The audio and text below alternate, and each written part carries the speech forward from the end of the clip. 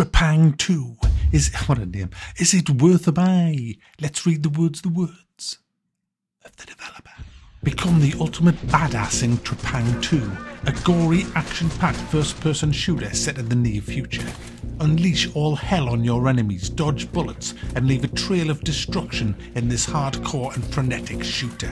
Guys, this is John Wick meets Fear.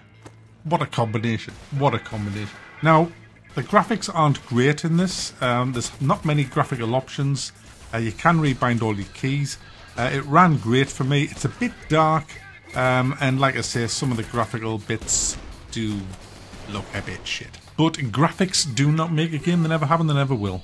It's all about the gameplay. It's about the action that you do as a player in first-person shooters. And this is a it's a it's a, it's a fear kind of shooter. It's not like a Half-Life kind of shooter. Um, it's very much seat of your pants stuff with John Wick mixed in.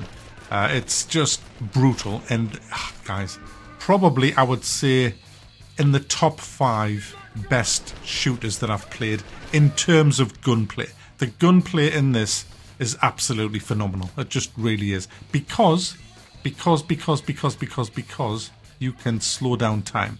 You kill people, and I believe the more people you kill, the quicker your slowing down time charges up. That's what I've gathered. There is no instructions because it's 2023. You don't get manuals or anything like that with, with games anymore. The other ability that you have, invisibility, that just seems to charge up pretty much straight away after it runs out. There's like a little downtime of 10 seconds or so, if that.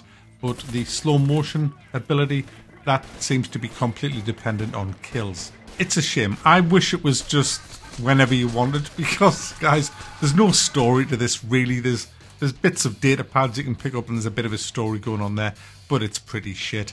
This game is not about any of them things. What you'll get in this game is just tons and tons of all different manners of enemies, monsters, creatures, all kinds of shit.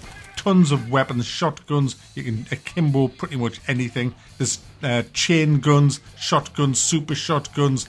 I love the, the dual wielding pistols as well. There's rifles, sniper rifles, uh, submachine guns, all kinds of stuff, grenades, phosphorus grenades, all kinds of just guys, loads of loads and loads of weaponry, and you have plenty of health and plenty of armor. Even playing it on hard difficulty, which pretty much all of this footage, well, not all of it, but most of the footage is on hard. I played through the game.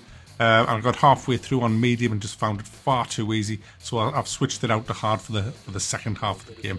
Um, so yeah, and I have gone back to some of the earlier levels that I really enjoyed to replay them on hard, uh, just to unlock cheats because there's a massive cheat uh, menu in this game, which is great because in the cheat menu you can do all those things. You can have unlimited ammo, I believe. I haven't really had a good look through, but I did see unlimited focus, which is slow down time. So I shall be unlocking all of these cheats and playing this game. There's your replayability, just over and over again. Now, before people start crying, oh, Mack's endorsing cheats. No, I'm not. Because anybody who's a seasoned first person shooter player will all know the same thing. When you play Half Life and you've finished Half Life and you unlock them cheats and you can have the gravity gun from level 1, there's your replayability. How many hours did we spend doing Doom IDDQD? What was it? IDKFA?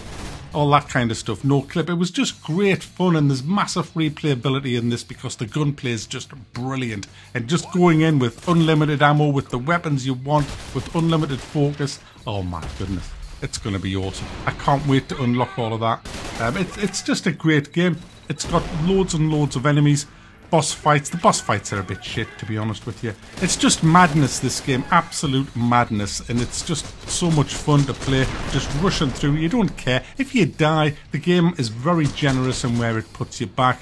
You might lose a few, a, a minute or two, but it just puts you back. There's no real consequences for dying, so you can just stick your lips out, just go, rah, you bastards, fucking have it, and just run around the, the levels being an absolute madman, psychopathic maniac. And guys, this is what gaming's like. This is what gaming's about. It's about time we had a game like this. This is what people don't get. A lot of the other developers that this is what a lot of people want to do. Just unleash mayhem on a level. We don't want to be sneaking through, making a, what's it, crisp on the floor. Step on it.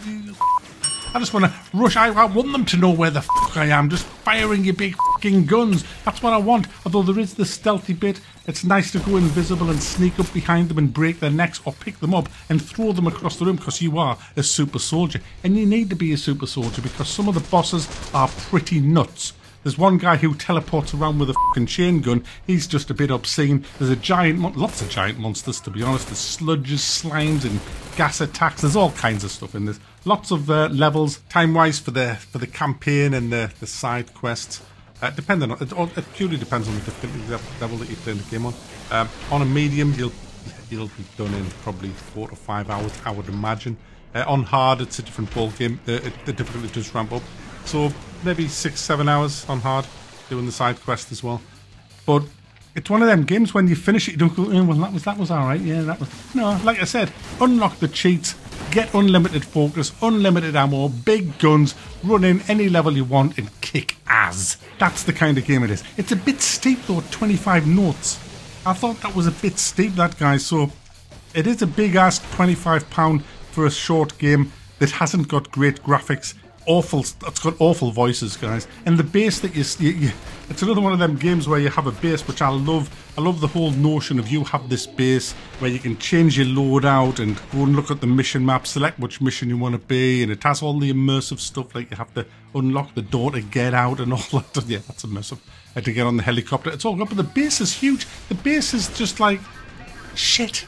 The base should be like half the size of this and not look as shit.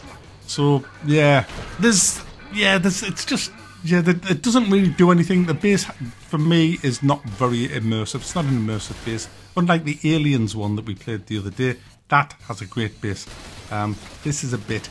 It's a bit. It's all a bit dark. This game. It's all a bit too dark. We should turn the lights up a bit. When all the tracer fires going and everything, and the explosions from grenades, it's just like a massive light show of death uh, which is just great. But flying through the air, dual akimbo pistols in slow motion, shooting someone's face off.